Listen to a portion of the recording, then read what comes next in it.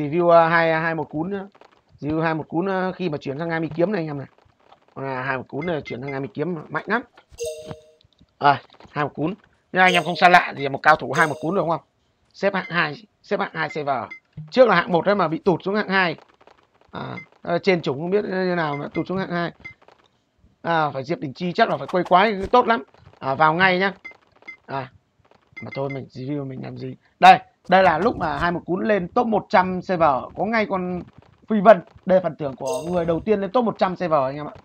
Phi vân thì giá trị này cũng khoảng tầm à, cỡ tầm à, mấy chục kim đấy anh em ạ. Đầu server này mấy chục kim ba bốn mươi kim nữa. Nếu như các server trước cũng phải rơi tầm giá đó. Đấy. kiếm 20 22 8 kiếm ok à. Nami kiếm này quá ok rồi. À. áo 40 20 quá ngon. Dây chuyền. Dây chuyền này thì anh em biết rồi đấy dây chuyền này là trước là em Amolet đánh ra. Xong rồi à, ngay buổi tối hôm đó thì à, bên ba anh em có anh bất lực cực dâm cũng đánh à, bot và rơi ra cái dây thổ 17 của con hơi mệt. À, thì xong rồi anh à, anh à, anh hút lọt dùng cái dây 16 này của em. Thêm 5 kim để đổi lên cái dây 17 đổi lên cái dây 17 Đấy. thì lúc đó là à, cái dây 16 này về tay anh bất lực và bán sang bên bang thầy trưởng. Thì lúc đó bán cho thầy trưởng không biết bao nhiêu kim ấy mấy chục kim ấy rồi hình như là thầy trường ờ, bán lại cho hai một cún nếu mà theo thông tin em biết là như vậy. Còn không biết là ở bên bang thầy thì à, là là thầy trường mua cho hai một cún hay là mua về rồi bán cho hai một cún thì em không rõ thông tin. Đấy, chỉ biết là bên bang em bán cho bên ờ, thầy trường. Đấy, cái dây này. Đấy, tiếp theo là cái mũ. Cái mũ này thì anh em biết là là cái mũ đầu tiên xuất hiện ở um, cái mũ phòng thủ vật lý 25 đầu tiên xuất hiện. Thì bây giờ cũng có một cái mũ phòng thủ vật lý 25 nữa.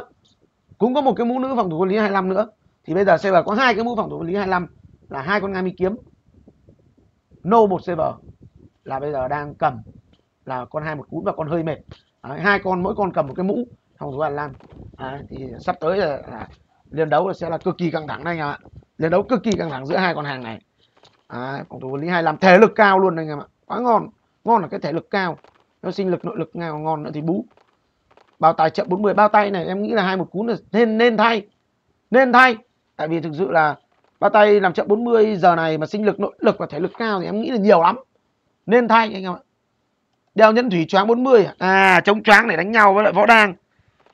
Chống choáng đánh nhau với võ đang côn lôn. Ừ, hợp lý. Giày cái giày này thì anh em biết rồi. Từ uh, đợt uh, thiên nhẫn đã xài cái giày này. Giày này thì em nghĩ đến đồ tím vẫn xài. Để mắc ba lều. Quá ngon này quá bình đai chậm 40 sinh lực cao quá ngon. Ấn một luôn nhẫn kháng lôi 27 nhẫn này thì trước mua của ai nhỉ? Mua của ai hình như là loanh quanh loanh quanh trên dưới chục kim thì em không nhớ. Mua của ai ấy? Mua của gia nhi hay sao nhỉ? Ngọc bội. Ngọc bội này thì cùi.